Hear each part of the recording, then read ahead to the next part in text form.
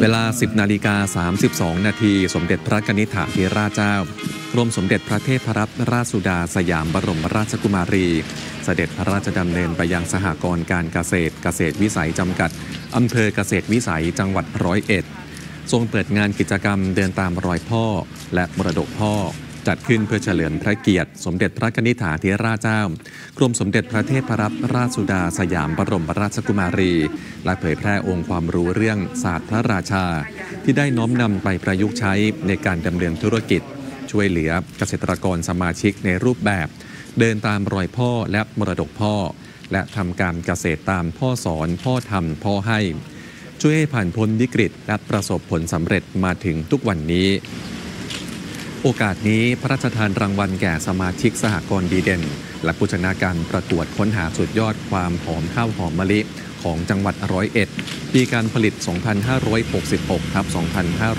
2567 มี 2 ประเภทคือประเภทสหกรณ์ได้แก่ สมาชิกสังกัดสหกรณ์การเกษตรเกษตรวิสัยจำกัด และประเภทกลุ่มเกษตรกรวิสาหกิจชุมชนแปลงใหญ่ และศูนย์ข้าวชุมชนได้แก่ เกษตรกรสังกัดกลุ่ม เกษตรกรทำสวนเมืองทองอำเภอเมืองร้อยเอ็ดสหกรณ์การเกษตรเกษตรวิสัยจำกัดจดทะเบียนเมื่อวันที่ 18 เมษายน 2520 มีเขตการดำเนินงานพื้นที่อำเภอเกษตรวิสัยรวม 13 ตำบล 175 หมู่บ้าน ซึ่งเมื่อช่วงปี 2525 ถึง 2527 ประสบภาวะขาดทุน ต้องเข้าแผนฟื้นฟู น้อมนำศาสตร์พระราชา ที่พระบาทสมเด็จพระบรมชนากาธิเบศรมหาภูมิพลอดุลยเดชมหาราชบรมนาถบพิตรพระราชทานไว้มาเป็นแนวทางในการปฏิบัติตนปฏิบัติงานกำหนดแผนแก้ปัญหาหนี้ค้างชำระ ให้สมาชิกนำข้าวเปลือกส่งชำระหนี้ และจัดหาเมล็ดพันธุ์ข้าวพันธุ์ดี ปุ๋ยจำหน่ายให้สมาชิกในรูปแบบเงินกู้ไม่คิดดอกเบี้ย ส่งผลกลับมาให้เข้มแข็งได้อีกครั้ง ผลประกอบการณวันที่ 31 มกราคม 2567 สหกรณ์มีทุนดำเนินงาน 3,460 ล้านบาท มีทุนเรือนหุ้น 224 ล้านบาท มีทุนสำรอง 138 ล้านบาท ธุรกิจรวบรวมข้าวเปลือก 1,038 ล้านบาท ธุรกิจแปรรูปข้าวสารและผลพลอยได้ 235 ล้านบาท ธุรกิจอื่น ๆ อีกกว่า 80 ล้านบาท ปัจจุบันสหกรณ์การเกษตรเกษตรวิสัยจำกัดดำเนินงานตามหลักการ และอุดมการสหกรณ์เน้นการมีส่วนร่วมของสมาชิก มีธุรกิจหลักคือเรื่องข้าว ในอนาคตมีแผนที่จะพัฒนาธุรกิจโรงสีข้าว ให้มีประสิทธิภาพมากขึ้น สร้างมูลค่าเพิ่มในธุรกิจข้าวหอมมะลิ ด้วยการใช้เทคโนโลยีช่วยกระตุ้นสารหอมในข้าว สร้างตราสินค้า รวมทั้งขยายช่องทางการจำหน่ายไปยังต่างประเทศ นอกจากนี้ยังมุ่งสร้างเครือข่ายสหกรณ์ทั้งในพื้นที่จังหวัดร้อยเอ็ดและเครือข่ายสหกรณ์ทั่วประเทศ เพื่อเกิดการแลกเปลี่ยนและความร่วมมือด้านอื่น ๆ อย่างเป็นรูปธรรม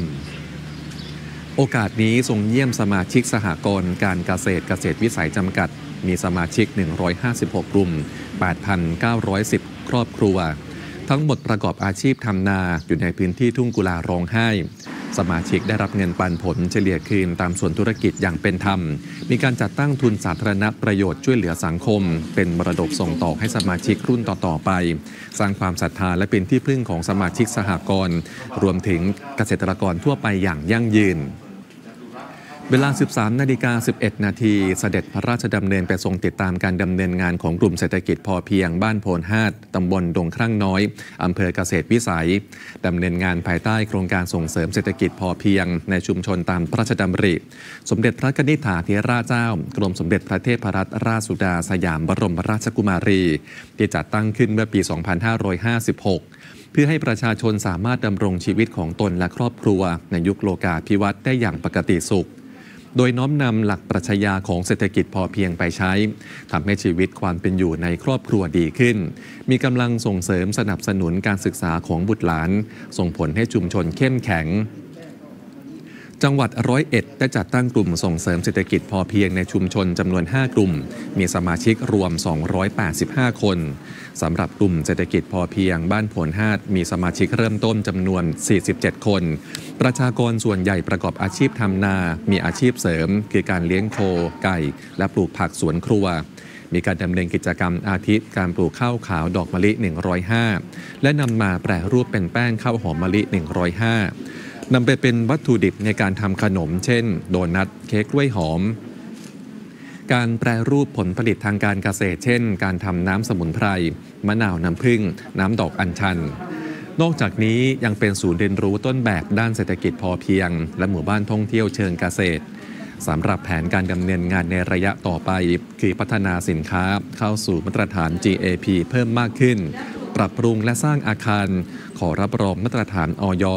สำหรับกิจกรรมการแปรรูป ปัจจุบันมีสมาชิกรวม 88 คน มีเงินออมของกลุ่มตั้งแต่เริ่มดำเนินงาน 498,220 บาท รายได้ครัวเรือนของสมาชิกเฉลี่ยเพิ่มขึ้น 4,000 บาทต่อเดือน และรายจ่ายครัวเรือนลดลงเฉลี่ย 1,500 ถึง 2,000 บาทต่อเดือน โอกาสนี้ทอดพระเนตรกิจกรรมอาทิฐานเรียนรู้การผลิตน้ำหมักชีวภาพ ซึ่งเป็นกิจกรรมส่งเสริมการผลิตปุ๋ยอินทรีย์ และน้ำหมักชีวภาพสำหรับใช้เองในครัวเรือน ที่ผลิตจากเศษพืชผักและเศษอาหารจากชุมชนเพื่อลดต้นทุน รวมทั้งเป็นจุดถ่ายทอดความรู้แก่ผู้ที่มาอบรม และศึกษาดูงาน โดยจะมีการให้บริการน้ำหมักชีวภาพ แก่สมาชิกที่ปลูกผักโดยรอบพื้นที่โครงการ และฐานเรียนรู้การปลูกผักปลอดสารพิษ โดยพืชผักส่วนใหญ่เป็นผักสวนครัวอาทิคะน้าพริกต้นหอม ที่ใช้กระบวนการดูแลและบำรุงรักษาแบบเกษตรอินทรีย์ ที่ได้รับรองมาตรฐานทั้ง Organic Thailand และ GAP เป็นที่ต้องการของตลาด และมีแหล่งรองรับในการจัดจำหน่ายซึ่งทุกกิจกรรม ช่วยยกระดับคุณภาพชีวิตของคนในชุมชนได้อย่างดี